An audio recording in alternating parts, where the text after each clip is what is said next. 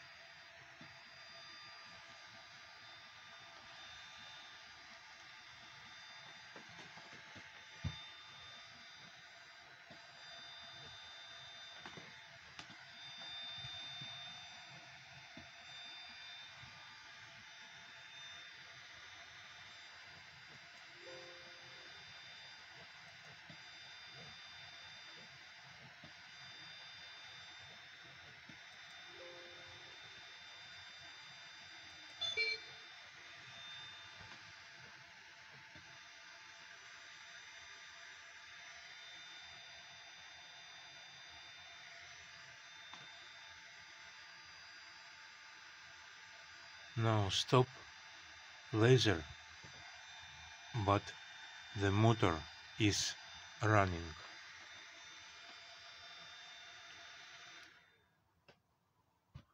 Power off and the motor is uh, stop too